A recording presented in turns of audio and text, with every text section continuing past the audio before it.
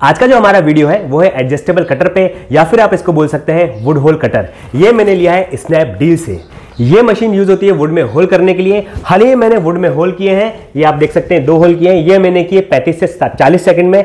शायद मैंने ज़्यादा टाइम बोल दिया हो, बट 35 सेकंड से भी कम टाइम में हो जाता है। तो आज मैं आपको बताऊँगा कि इस मशीन में वुड में कैसे होल कर सकते हैं, कितने एम mm तक के कर सकते हैं और कितनी थिकनेस तक के कर सकते हैं। और हाँ अगर आप ये वीडियो पहली बार देख रहे हैं तो सब्सक्राइब कर दीजिए, बगल में जो बेल आइकन इसको दबा दीजिए, ताकि इंटरेस्टिंग वीडियो आप तक आ सके। तो चलिए, बिना टाइम वेस्ट कर स्टार्ट करते हैं अपना वीडियो।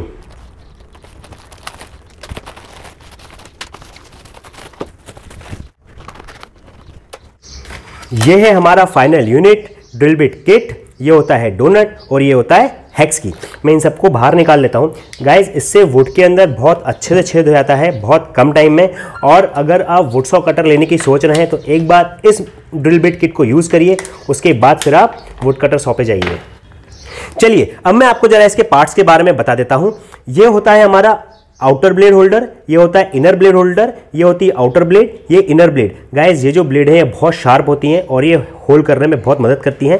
इसके बाद ये है हमारी ड्रिल बिट और ये है मेज़र बार देखिए मेज़र बार को जरा मैं आपको थोड़ा सा फोकस करके दिखाता हूँ, आप क्लियरली देख सकें.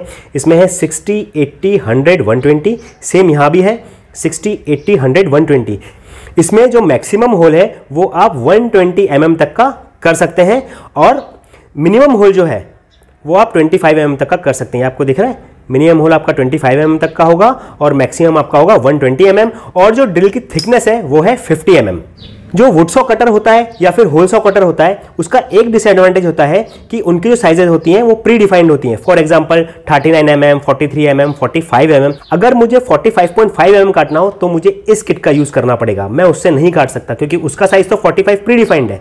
मैं 5.5 पॉइंट एम कहाँ से लाऊँगा? तो इसको हम एडजस्ट करके 45.5 तक काट सकते हैं।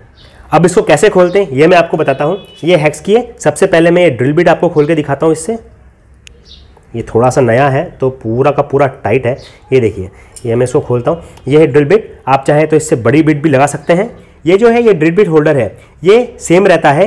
ये जो है, आउटर बिट होल्डर और इनर बिट होल्डर, इसको हम आगे पीछे कर सकते हैं।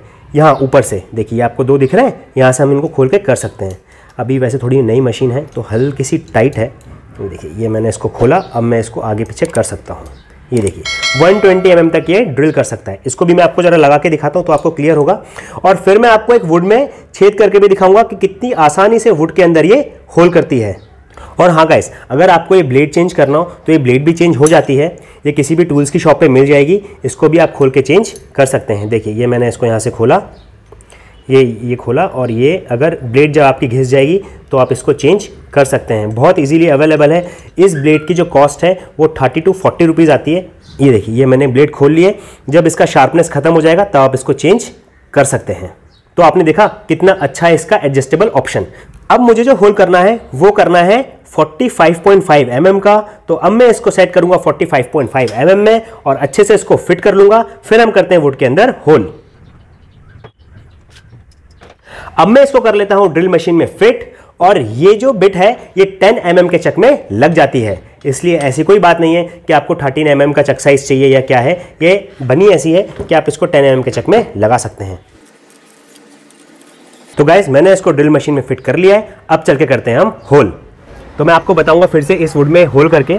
मैंने इसको सेट किया है 45.5 mm में। मैं आपको एक बात बता दूँ, जब भी आप इस किट का इस्तेमाल करें आँखों पे प्लीज़ गॉगल लगा लें, क्योंकि बहुत ज़रूरी है, और प्लीज़ केयरफुली काम करें।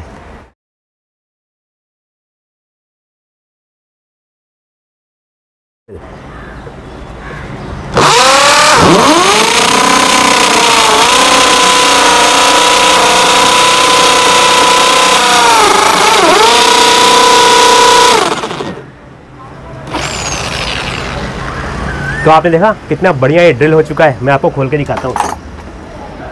इस ड्रिल में जो टोटल टाइम लगा है, वो लगा है टेन टू ट्वेल्व सेकेंड्स